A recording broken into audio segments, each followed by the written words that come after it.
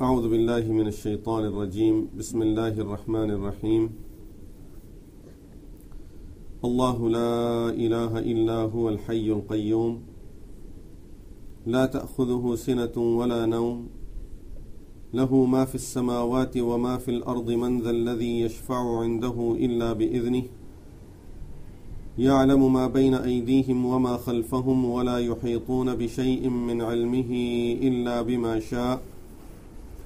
وسع كرسيه السماوات والأرض ولا يؤوده حفظهما وهو العلي العظيم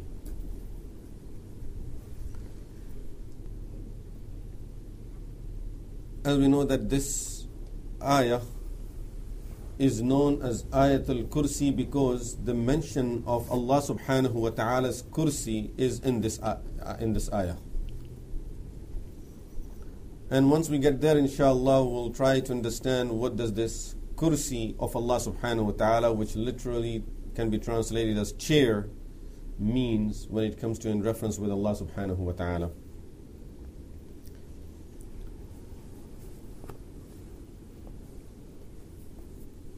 Sayyidina Ubay ibn Ka'ab radiallahu anhu says, once Rasulullah sallallahu alayhi wasallam asked me, because Ubay ibn Ka'ab radiallahu anhu is known as Sayyid al-Qurra, the person who had the certificate, we can say, the title from Rasulullah sallallahu alayhi wasallam as Sayyid al-Qurra, the leader of all the Qurra, the best Qari,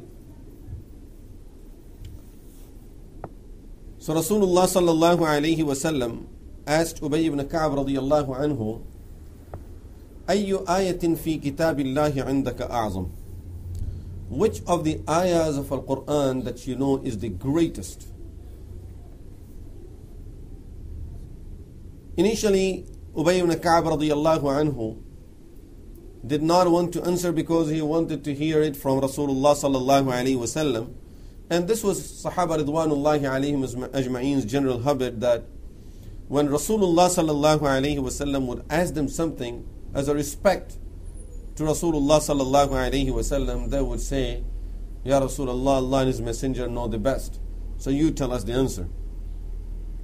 And then once they will see that he's insisting on getting the answer from them, then they would give the answer according to their understanding if they know it. So when Rasulullah sallallahu alayhi wasallam asked Ubay ibn Ka'ab radiyallahu anhu which of the ayahs is the greatest, so Ubay ibn Ka'ab radiyallahu anhu said, Allah and His Messenger sallallahu alayhi wasallam know the best. Rasulullah sallallahu alayhi wasallam said, but you know something about it, so which ayah of Quran is the greatest? Here we need to realize Kalamullah, the words of Allah, each and every word of Allah is greater than anything else in this universe.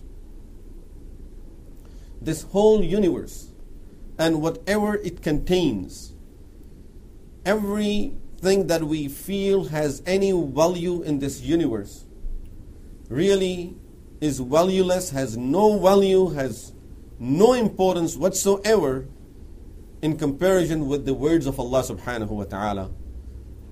The words of Allah are the greatest things human beings have in this life.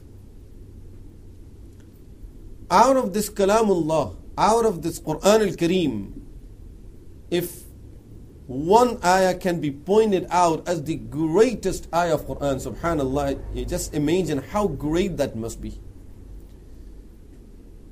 Using the word great for it, I think, is not enough, but that is the best word in our dictionary. And this is why, just to explain to ourselves the word great is being used, there has to be a unique word for it that can be used only for this ayah. And then only human beings may have some understanding of the greatness of Kalamullah and especially of this ayah of Al Quran Al Kareem. So Ubay ibn Ka'ab radiallahu anhu says when Rasulullah sallallahu alayhi wasallam asked me again, then I said to him, Ayat al Kursi. that is Ayatul Kursi Ya Rasulullah, which is the greatest ayah of Quran al-Kareem. Rasulullah sallallahu alayhi wasallam put his hand on Ubay ibn Ka'b radiallahu anhu's chest. And he said, Congratulations for the ilm and knowledge that Allah subhanahu wa ta'ala have blessed you with. This tells us that Ayatul Kursi is the greatest ayah of Quran. And in one of the ahadith, in this hadith, the word azam, great, is used for Ayatul Kursi. In one of the ahadith, Rasulullah sallallahu alayhi wasallam said, Inna Sayyidu Ayal Quran, the leader of all the ayahs of Al Quran, and the greatest ayah of Quran is Ayatul Kursi.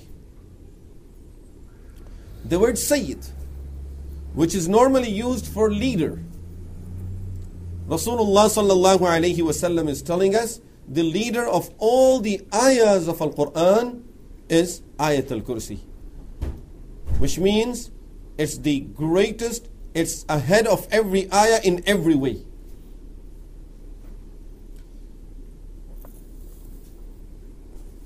As Allah subhanahu wa ta'ala created this universe, He always made one thing to lead the rest. So there is always leadership in everything.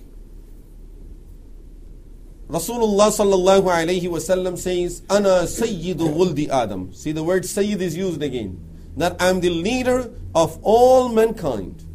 Wala fakhr. And he says, I'm not saying it out of arrogance.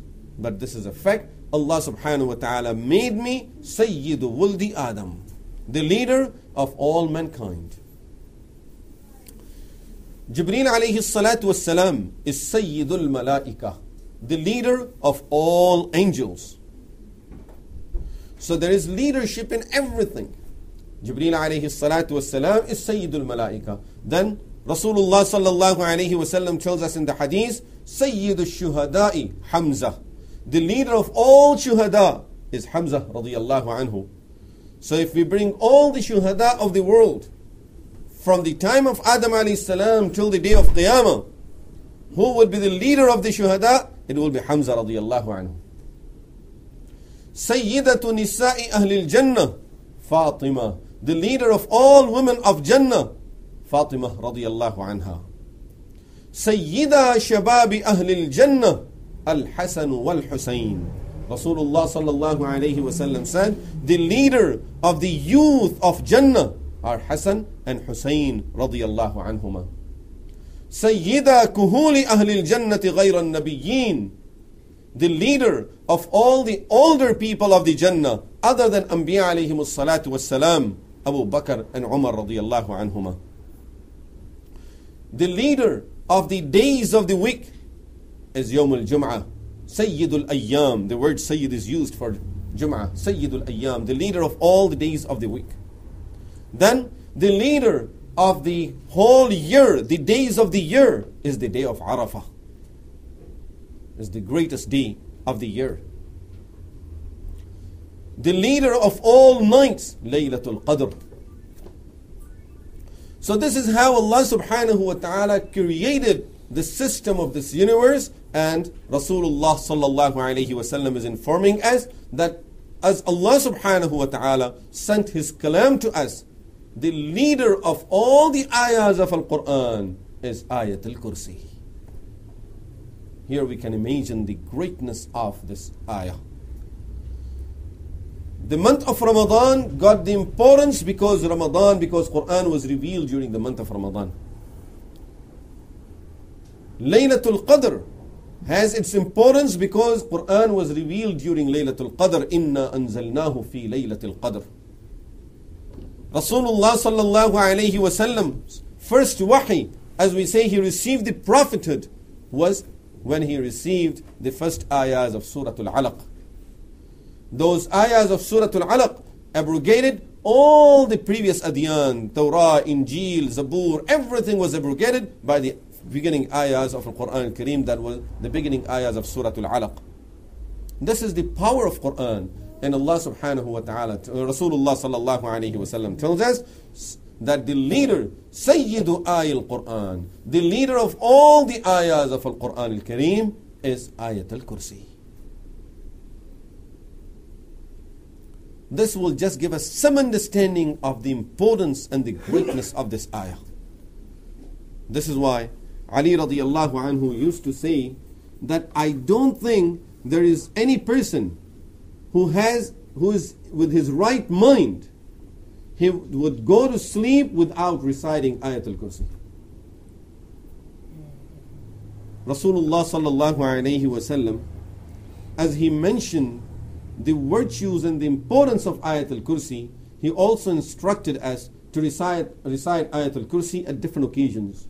For example, there are hadiths that tell us that we should recite Ayatul Kursi before we go to bed every night before a person goes to bed, before a person retires to sleep, should recite Ayatul Kursi.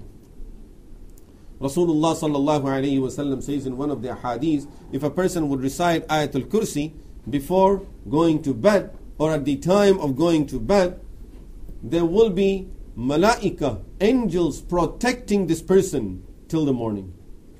In another hadith, Rasulullah sallallahu alayhi wasallam said, when you go to your bed, this hadith is in Sahih al-Bukhari, when you go to your bed, recite Ayat al-Kursi, Allah subhanahu wa ta'ala will assign an angel to protect you and spend the night with you. So there is malaika around this person. This person is sleeping and being in the company of the malaika. In another hadith, Rasulullah sallallahu alayhi wasallam said, a person who would recite Ayatul Kursi at the time of going to bed, before sleeping. آمنه الله على داري Allah will protect his house. ودار جاري and will protect the house of his neighbor. وَدُوَيْرَاتٍ حَوْلَهُ and few more houses in his neighborhood will be protected by one person recite, reciting Ayatul Kursi there. Of course, greatest ayah of Al Quran Al Kareem explains everything. That word by itself explains everything. And now, if we mention all the virtues of the surah, really there has to be something that we can say very understandable because the greatest ayah of Quran. Which simply means the greatest thing that exists on this world on the surface of the earth, the greatest thing that we have. There is nothing greater than this because Quran is the greatest. And out of the ayahs of Al Quran, Ayatul Kursi is the greatest. So then, what can be greater than Ayatul Kursi that people have in this universe?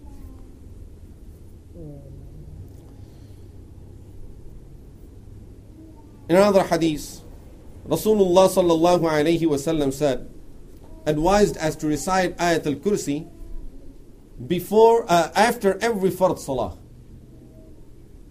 And the hadith says, a person who would recite Ayat al-Kursi, have the habit of reciting Ayat al-Kursi after every fard salah. لم يمنعه من دخول الجنة إلا أن يموت. Nothing is stopping him from going to Jannah except being alive in this world. As soon as he would leave, the door of the Jannah would open for him. The barakah of reciting Ayat al-Kursi that Allah subhanahu wa ta'ala will protect this person's iman. Of course, what means that nothing will, is preventing him from going to Jannah except being alive. As soon as he would die, he would go to Jannah, which means, inshallah, this person's this person is going to have iman at the time of his death. His iman will, his iman will be protected until he will face Rabbul Alameen subhanahu wa ta'ala. In other hadith, Rasulullah sallallahu alayhi wasallam said, a person who recites Ayatul Kursi after every Fard Salah, كان في ذمة الله إلى الصلاة الأخرى. That person is under Allah's protection till the next Salah. This person is under Allah's protection till the next Salah. In another hadith, Rasulullah sallallahu alayhi wasallam advised us to recite Ayatul Kursi as a protection from against all the evils. Ayatul Kursi has a great power of protecting a person against jinn, shayateen, and against all the evils that can befall a human being in this, in this world. Well known hadith that is in Sahih al Bukhari and other books of hadith, hadith narrated on the authority of Sayyidina Abu Hurairah radiyallahu anhu who says وكلني رسول الله صلى الله عليه وسلم بحفظ زكاة رمضان Rasulullah sallallahu alayhi wasallam asked me to take care of the zakah that he collected during the month of Ramadan, maybe fitra or maybe zakat that was collected during Ramadan. So he says, I was, I had it uh, at, at my home, and I was making sure that no one can come and touch it. So I saw a man coming there, and he was picking up some of the food from there. So I caught this person and said to him that you're stealing this, I will take you to the Prophet sallallahu alaihi wasallam. Abu Hurairah radiallahu anhu says, فَشَكَى حَاجَةً وَعِيَالًا He started making, complaining about his situation and that how he's in need and he didn't have anything to eat and his children were also hungry for some time and he was really in need of some food and therefore he had to take some he had no choice but to take some food from here so Abu Hurairah radiallahu anh excused the person and said okay but make sure you don't do it again Abu Hurairah radiallahu anhu says night time when I met Rasulullah sallallahu alayhi wasallam he asked me ما فعل أسيرك البارحة what did that person do, that man do yesterday? I didn't tell him anything. Prophet ﷺ knew about it. So I said to him, Ya Rasulullah, he was stealing. I caught him, and then he said that he has he was hungry and his children were hungry. He didn't have anything to eat for some time. So I excused him. I said, okay, but make sure you don't do it again.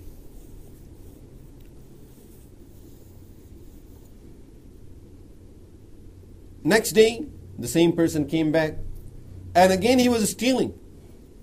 So Abu Hurairah radiallahu anhu caught him now and he said, Yesterday I caught you doing the same thing. Now you're doing the same thing again. Today I will take you to Rasulullah sallallahu alayhi wasallam for sure. So again he started bringing all the same excuses and complaining that I felt sorry for him. And I said, you know, the poor guy, you know, his children must be really starving if he has to come and steal like this and he has nothing to eat. And the way he was presenting his story, that Abu Hurairah radiallahu anhu thought, you know, it must be true. So, that person, Abu Hurairah radiallahu anhu, let him go this time. Again, when he met Rasulullah sallallahu alayhi wasallam, Rasulullah sallallahu alayhi wasallam said to him, "Ma fa'ala asiruka al-bariha?" Abu Hurairah, what did that man do yesterday? I told him the same thing again. I told him the whole situation. He said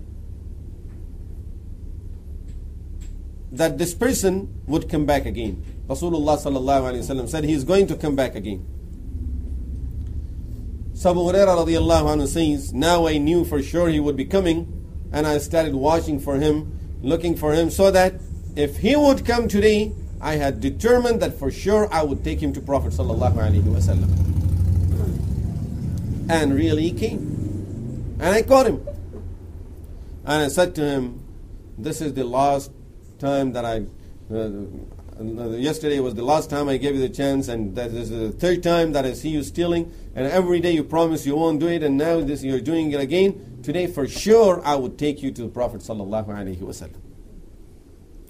So again, he started making the same type of excuses. I said, nothing is going to work today, and I would take you to Prophet sallallahu alaihi wasallam. He was so scared to go to Prophet sallallahu alaihi wasallam that he said to me, "How about if I teach you something?" that would protect you against shayateen, against jinn, and against all the evils. Would you let me go? Sahaba Ridwanullahi alayhi majma'in, of course, they loved knowledge. Oh, so you know something that would really be a protection against shaitan, against all jinns? He said, yes. I promise I will teach you something. If you recite it, shaitan will not be able to come close to you. And if you recite it at night time, till next morning, shaitan cannot be around you there. So Abu Hurairah said, okay, I will let you go under that condition. So he said to me, recite Ayat al-Kursi every night. Recite Ayat al-Kursi. If you recite Ayat al-Kursi, shaitan will not be able to come close to you. Abu Huraira radiallahu anhu said, then I let him go. And when I met Rasulullah sallallahu alayhi wasallam, Rasulullah sallallahu alayhi wasallam asked me, Ma fa'ala? What did that man do yesterday, last night? I told him, Ya Rasulullah, this is what he did. And when I caught him this time, I said, for sure I will take you to the Prophet. And then he said that he promised that he would teach me something that will protect me against shaitan and against all the jinns. So I thought that, will be, that was a good deal to learn that from him and let him go. So he taught me Ayat al-Kursi. The hadith is in Sahih al-Bukhari. Rasulullah sallallahu alayhi wasallam said, "Sadaqaka wa huwa kadhub." He told you the truth, but he's a liar. Sadaqak wa huwa kadhub. He told you the truth, but he's a liar. Do you know who you're dealing with all these three days? He said, No, Ya Rasulullah. Rasulullah sallallahu alayhi wasallam said, That is shaitan, that is Iblis. So shaitan, Iblis, he was so scared to go to Prophet wasallam that he told Abu Huraira radiallahu anhu how to protect himself against shayateen, against himself, against shaitan, and against all the other jinns. And that is through reciting Ayat al-Kursi. So Ayat al-Kursi is a protection against shayateen, against jinn, and now we learned that especially has to be recited after every fard salah. We should make a habit that after fard salah, we should recite Ayat al-Kursi with Bismillah ar-Rahman ar-Rahim. Number two, reciting Ayat al-Kursi after, uh, uh, before going to bed, before going to sleep. So every night, as we are ready to sleep, we recite Ayat al-Kursi with other du'as that are prescribed in the hadith for to be recited at the time of going to sleep. One of the well-known scholars of Islam, great muhaddis, whose name is Yahya ibn Ma'in, rahimahullah. It's been rated in a book called Siyar A'lam al-Nubala that talks about the great scholars of Islam, the biography that this book talks about, the biography of the great scholars of Islam. So it has been narrated on the authority of Yahya ibn Ma'in in that book. He says that I used to recite Ayat al-Kursi five times every night. When I go to home, I would recite five, uh, Ayat al-Kursi five times as a just habit, my habit five times every night for protection for me and my children and my house against shaitan and jinns. So he said one day I went home and as soon as I started it, Bismillah ar-Rahman ar-Rahim, Allahu la ilaha, I started it and I heard someone saying that you recite this surah five times every day, so many times every day, you think no one else knows this ayah? You are the only person who knows this ayah? So Yahya ibn Ma'in says, I knew this is shaitan, this is jinn. And he's very upset with me that he's not getting opportunity at all to spend a night in my home. So this is why today he couldn't hold it anymore and he comes up and he's talking to me that you recited every night so many times, you think that no one knows this ayah other than you? You are the only person who knows this ayah in the world? So he says, I said to him that I can figure out that this ayah is really upsetting you. And therefore, now I'm going to recite it even more. So he said, from there on, I started reciting Ayatul Kursi even more than that. So it's a great protection against shayateen and against jinns.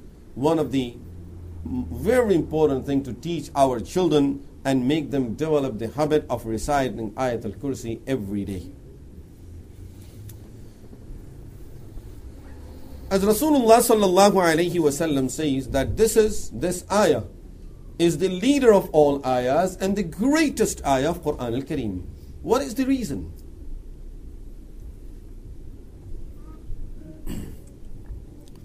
Why is known to be the leader of all the ayahs? Why is it considered to be the greatest ayah of Quran al-Kareem? As we know, Quran al-Kareem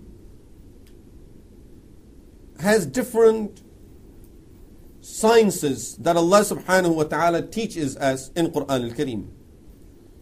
there are ahkam in Quran which means halal and haram, do's and don'ts, that these things are haram, these things are halal, these are fara'id, these are good things to do. Then there is another portion of Quran that deals with reminders. Reminders could be in the form of Allah subhanahu wa ta'ala reminding us through Jannah, Jahannam, through uh, mentioning the stories of the previous nations. So reminders is another portion of Quran and one portion of Quran is hmm. all about beliefs.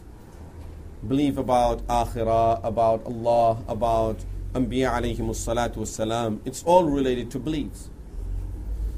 And every believer knows that the most important thing is aqidah, is iman, is belief. If a person does not believe and he keeps on doing ibadah, his ibadah will not be accepted. But if a person has iman and no ibadah, God forbid, uh, still someday he would make it to Jannah because iman is not there. So iman will protect him someday from the adhab, from the punishment of Allah subhanahu wa ta'ala. Although there was no amal, there was no practice. But Iman was there.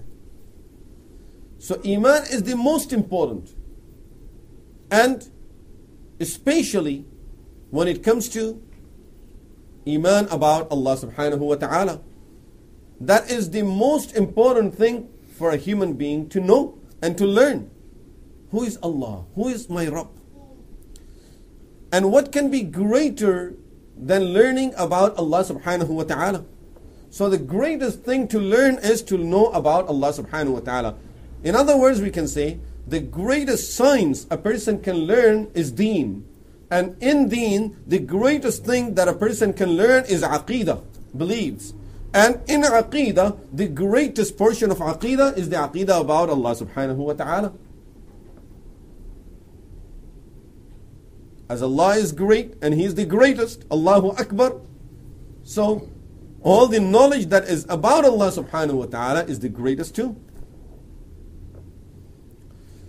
And Ayatul Kursi teaches us aqidah about Allah subhanahu wa ta'ala.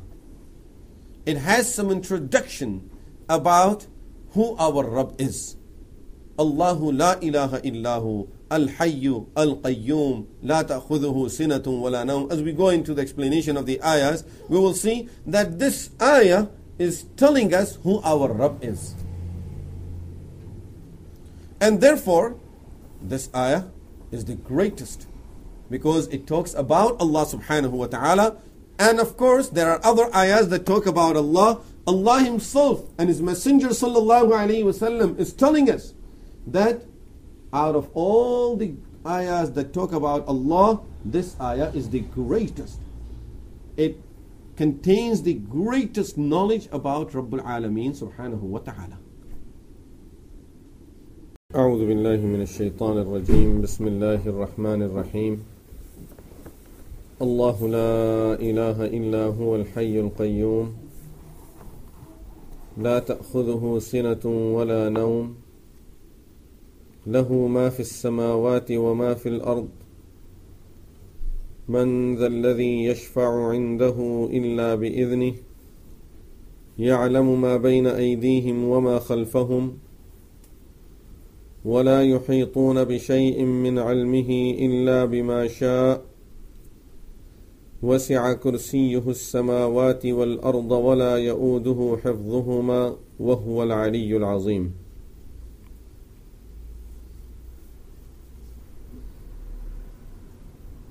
This is Ayatul Kursi, and we talked about the importance of this ayah in our previous session.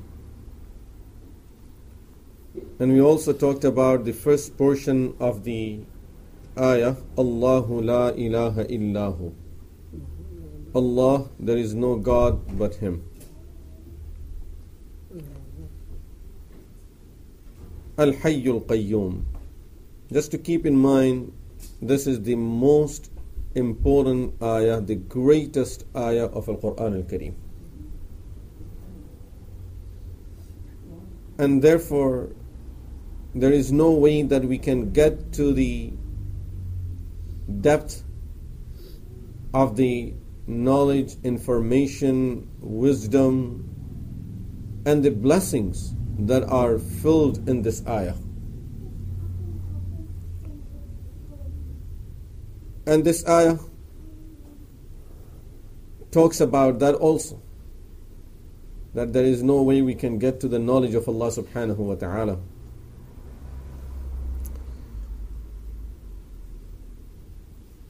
So, regardless of how much we try to understand the words and the message and the meaning of the ayah, still,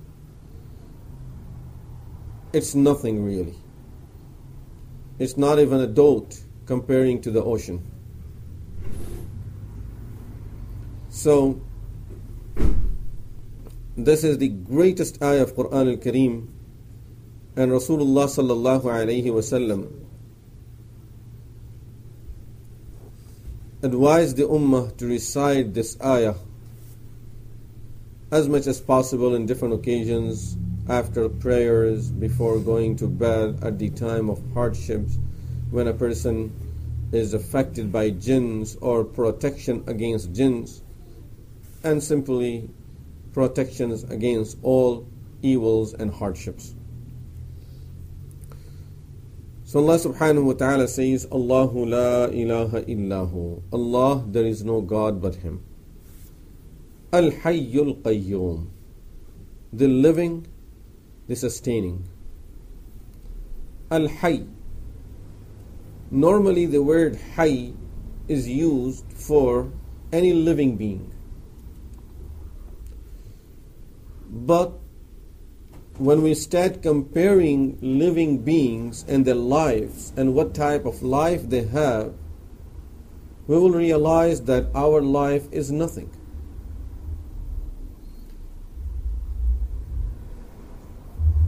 Allah subhanahu wa ta'ala created a lot of a lot of things that have life to it.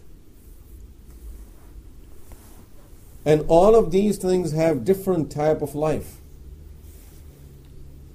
Insects have a life, animals have life, human beings have life, jinns have their life, malaika have a life. All of these are living beings that have their own type of life. And of course, as we know, the plants and the trees, even these things have certain type of life. And this is why we say the tree have died. So they all have different type of lives.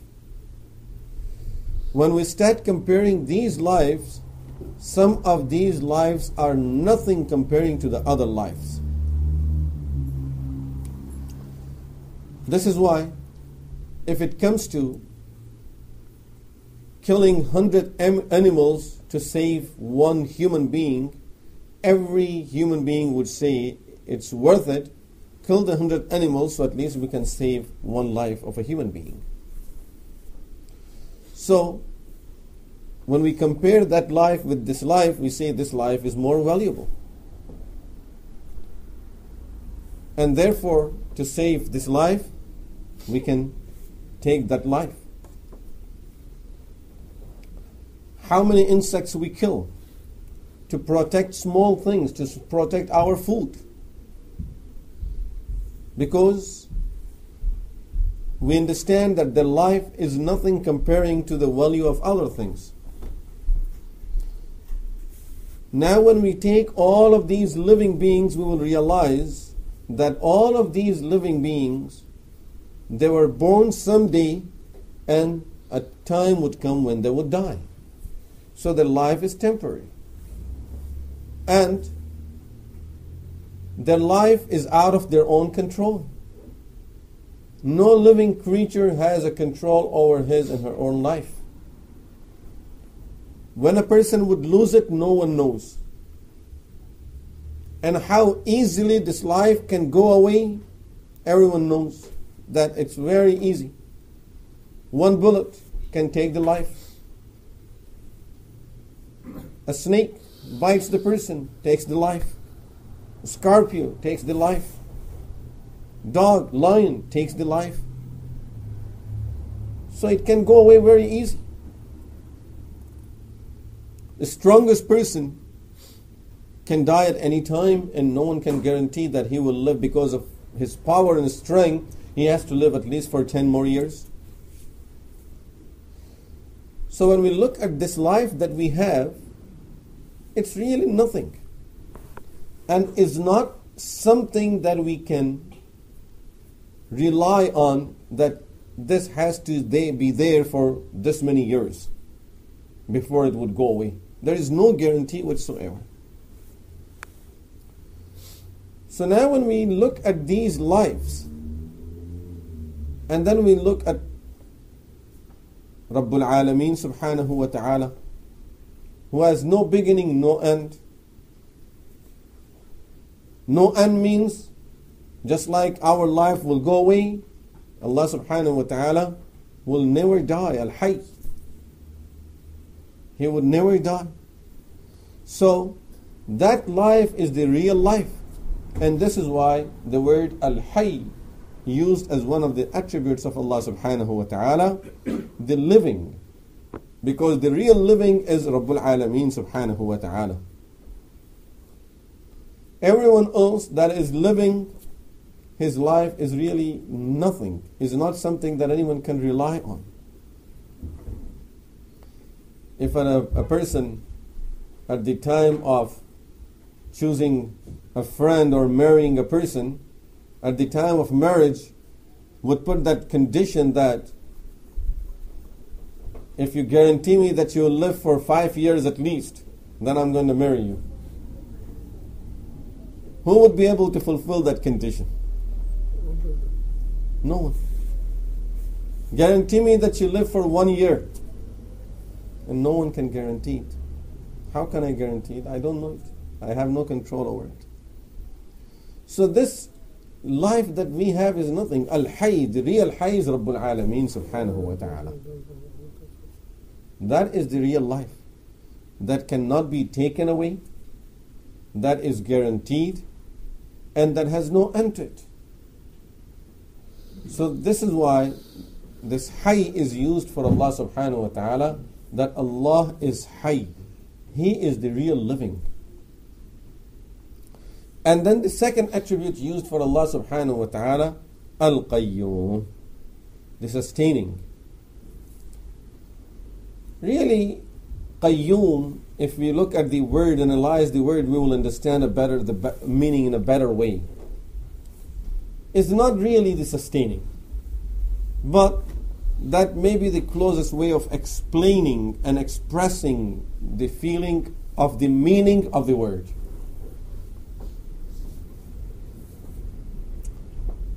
Qayyum is driven from the word qama yaqumu.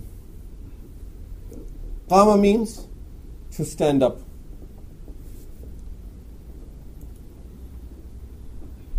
For anything to stand up, it needs some support. Everything needs some type of support to stand. Otherwise, it will fall.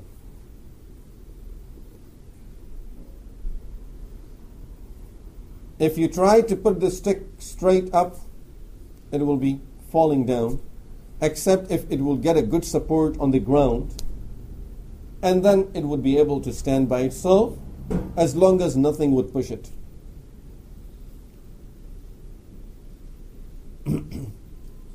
Human beings, we stand on our feet. We may say that okay, feet are part of our body, so we can stand without a support, or I can stand without a support. We don't see the support. Of course, ground is there for sure, but let's even ignore that. And we will see that the really the thing that is supporting us is our ruh to stand up. If a person is standing up and dies, which means ruh goes out of the body, he will fall right away.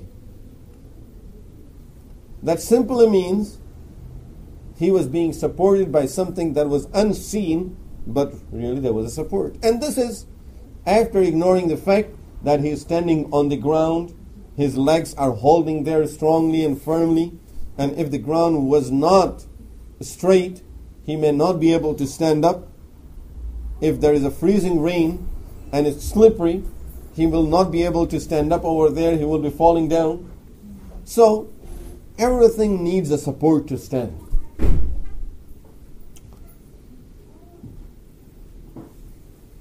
Allah subhanahu wa ta'ala tells us about heaven and earth in Quran. وَيُمْسِكُ السَّمَاءَ أَن تَقَعَ عَلَى الْأَرْضِ إِلَّا بِإِذْنِهِ He holds the heaven from falling on the earth without His permission. So He's holding the heaven and He's holding the earth. As we see, the earth is nothing, it's just a globe. And this is what it's uh, uh, hanging in the space. What's holding it? It seems like there is nothing that holding it. And it's hanging up there. But of course we know, and even the science now tells us that there is a pressure out there in the space that is holding it. So there is something that is holding everything that is there. The earth holding us, holding the buildings, holding very heavy things that is on it. Mountains are holding the earth from shaking. But who's holding all of these things? There is someone that must be holding the mountains. There is someone that is holding the earth in its place. There is someone that is holding the sun in its place, that it doesn't go away from its place. Someone that is holding the moon, someone that is holding the stars. Who is holding all of these things? That is Qayyum. Qayyum means that everyone depends on him to stand. And he does not depend on anything else to stand by himself. He's standing by himself, and everyone is standing with his support. Nothing can stand in this world without his support. He is Al Qayyum. So, this is the real meaning of Al Qayyum that holds everything in its place so things are standing.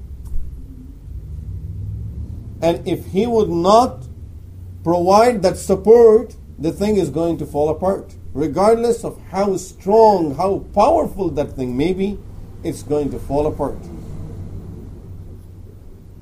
He created so much power in the air that it holds huge aeroplanes that are up in the air and they are in the air with uh, the, with the pressure and the power of the air.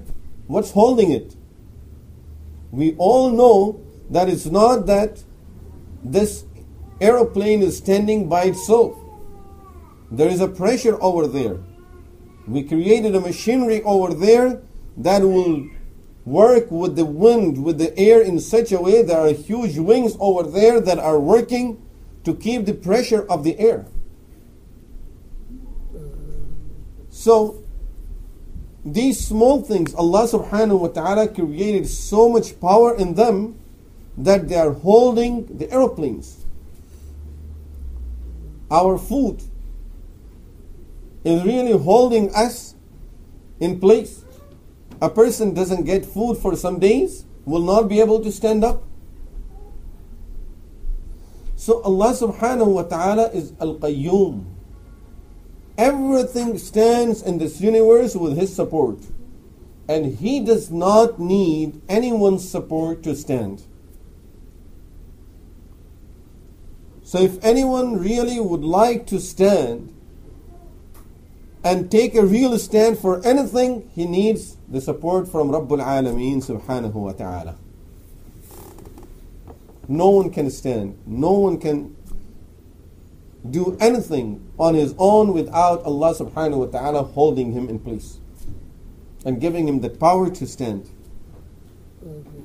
Strongest people you see the person laying on hospital's bed, what happened? I pulled my nerve. I pulled my muscle. Something, you know, small thing. This person was so strong that he would carry things that normally people will not be able to carry. But now he's laying down.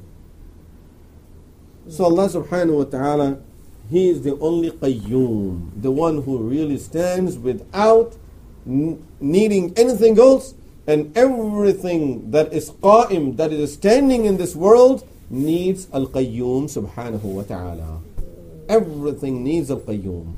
So Allah, there is no God but Him, the living, the sustaining, the one that is controlling everything, that is holding everything in its place.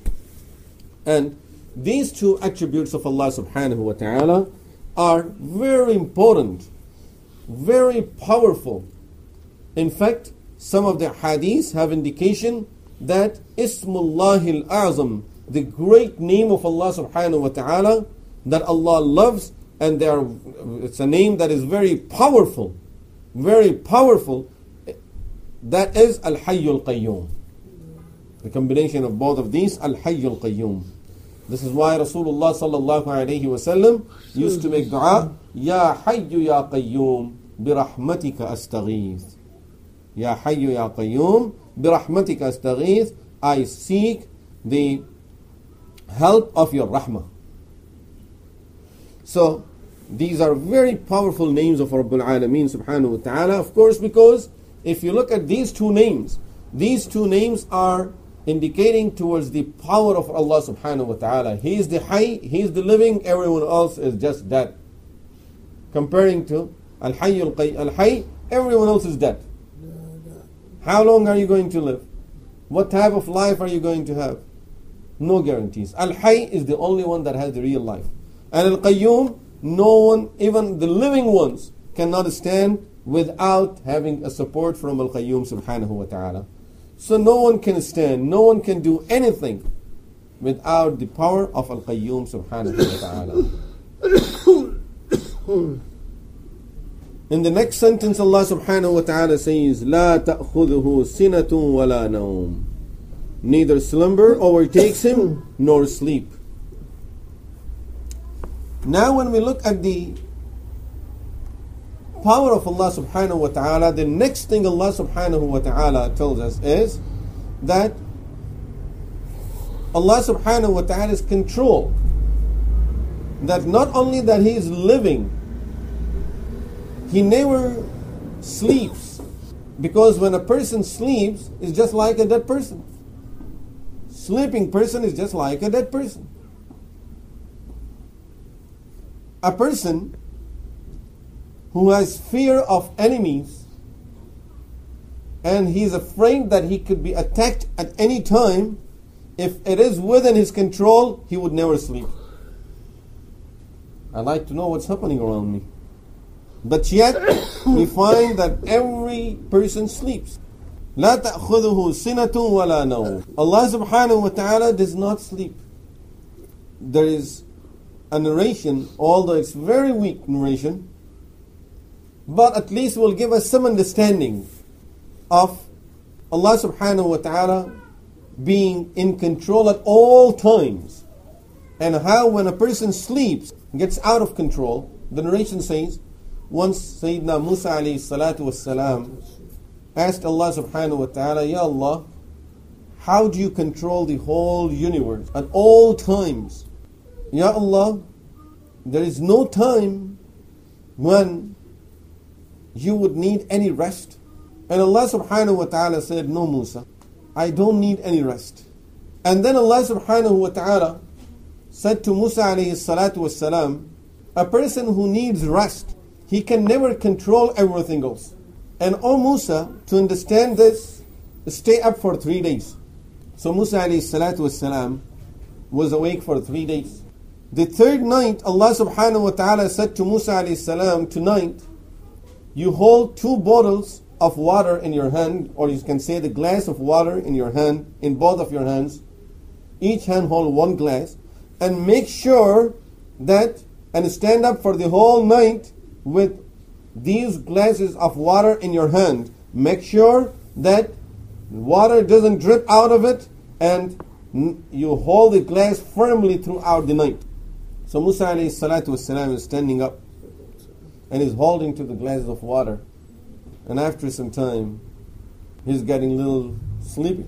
So, of course, as you know, closes eyes and hands goes down, little water drip, and quickly he gets up and he's holding to the glass now. And again, the same thing is getting sleepy and hands are going down and he's trying to hold them up. And gradually the water is dripping out of it. And finally, towards the end of the night, he just lost the control and the glass fell off his hand. Allah subhanahu wa ta'ala said to him, Musa, a person who sleeps cannot even hold a glass of water. How can he will how can he control the whole world? So لا تأخذه سنة ولا نوم. As I said, there is weakness in the narration, but it gives us the understanding that really a person who sleeps, he's out. He cannot hold anything. And Allah is Qayyum. He is holding everything. So, if Allah subhanahu wa ta'ala would sleep, then everything will get out of control. So everything is within the control of Allah subhanahu wa ta'ala at all times. So this portion of the ayah is telling us the control of Rabbul Alameen subhanahu wa ta'ala. And then Allah subhanahu wa ta'ala says, La ta'khudhu sinna, neither slumbers nor sleeps. Which means sinah is when a person not in his eyes, just in the head you start feeling sleepy. Even without closing the eyes. You feel in your head that now I need some rest. I'm getting sleepy. This is what sinah means in Arabic language. And of course, as that comes first, and then gradually the person's eyes will start closing, and then he would go to sleep. So Allah subhanahu wa ta'ala puts it in that order. But it's simply explaining that Allah subhanahu wa ta'ala is always up and He's aware of everything and has full control over everything. له ما في السماوات وما في الأرض. Now, this portion of the ayah is telling us His kingdom. To Him belongs all that is in the heavens and the earth. Whatever is in the heaven and whatever is in this earth, everything belongs to Allah subhanahu wa ta'ala. So, not only that, He is controlling everything, sometimes you control certain things, but they are not yours. We don't own them. And we are controlling these things, how to function, how to do things, but we don't own these things. Allah subhanahu wa ta'ala tells us, لَهُ مَا فِي السَّمَاوَاتِ وَمَا فِي الْأَرْضِ Whatever is in the heaven or earth, everything belongs to Allah subhanahu wa ta'ala. He owns everything. He has the ownership of everything that we see in heaven or earth. So, nothing is out of Allah subhanahu wa ta'ala's kingdom. He is the owner of everything. And once He is the owner of everything, Allah subhanahu wa ta'ala doesn't need anything. There is nothing that He needs from us, from other creatures. Can I get this? Can I get that? He owns everything and He owns us. من ذا الذي يشفع عنده إلا بإذنه who can intercede with him without his permission. Allah subhanahu wa ta'ala's power is so strong that Allah subhanahu wa ta'ala says, not only that no one can do anything without my permission, no one can take anyone anywhere he would like without my permission, no one can even intercede to me without my permission. Many times people give us the feeling, or we get the feeling that someone can control my Jannah and Jahannam. Allah subhanahu wa ta'ala says not to talk about controlling the Jannah and Jahannam for others. No one has the right to even intercede without Allah's permission. That, Ya Allah, please let him go to Jannah. No one can even intercede without having a permission from Allah subhanahu wa ta'ala.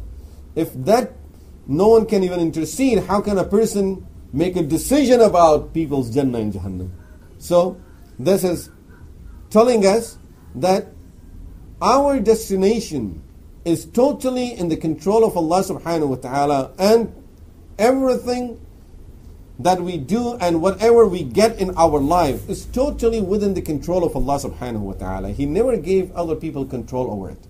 So people cannot decide for us. It's only Allah subhanahu wa ta'ala's decision.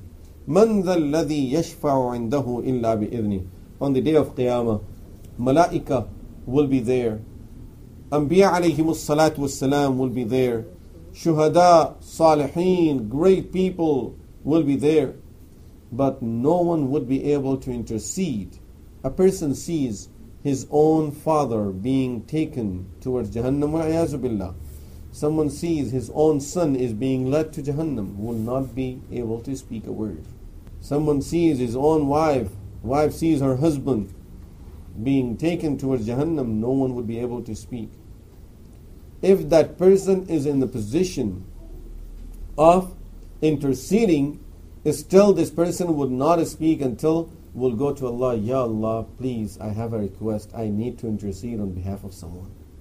And if Allah subhanahu wa ta'ala says, okay, go ahead, then the person would speak. Otherwise, this person would be afraid and will not say a word. Anbiya alayhimus will not intercede without Allah's permission. Malaika will not intercede with Allah without Allah's permission. Even Malaika would need a permission, Anbiya will need a permission. And if Malaika and Anbiya need permission, then who else can intercede without a permission? Rasulullah sallallahu alayhi wasallam will be interceding on that day at different places, at different situations. And each time the hadith telling us each time Rasulullah sallallahu alayhi wasallam wants to intercede, he will ask Allah subhanahu wa ta'ala's permission. He will seek the permission from Allah subhanahu wa ta'ala. As we know, the hadith says that the first intercession to start the judgment, Rasulullah sallallahu alayhi wasallam says, I would do a sujood